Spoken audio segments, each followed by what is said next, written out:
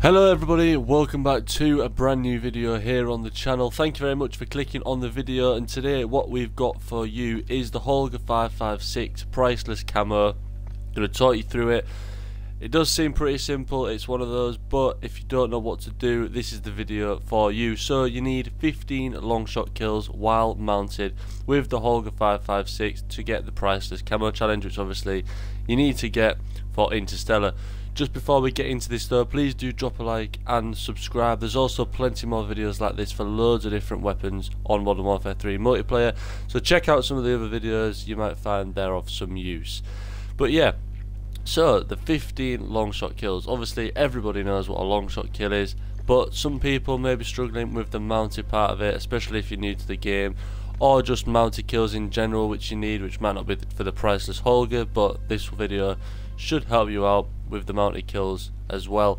So we're not going to worry about a class I'm going to jump straight into a game and show you exactly what we mean by these mounted kills.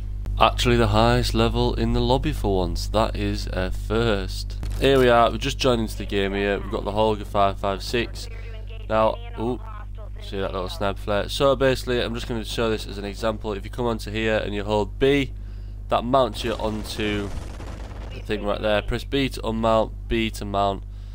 Uh, I don't exactly. This is on on Xbox. Obviously, it'll be different on PlayStation, but it's just the right hand side button. I think it'll be. I don't even know what it'll be on PlayStation, but easy as that. And then you want to get your long shot kills. And just like that guys, it really is that easy. Find yourself a long range of sight, mount up by using B, make sure you've got an optic on where you can see clearly.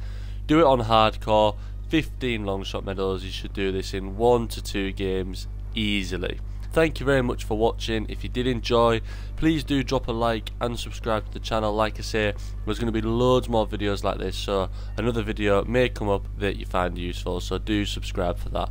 Hopefully I'll see you next time, and I'll catch you later.